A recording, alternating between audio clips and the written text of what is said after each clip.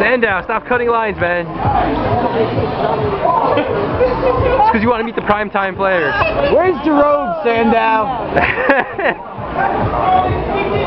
Should be wearing the robe. Where's the robe? Come on, genius.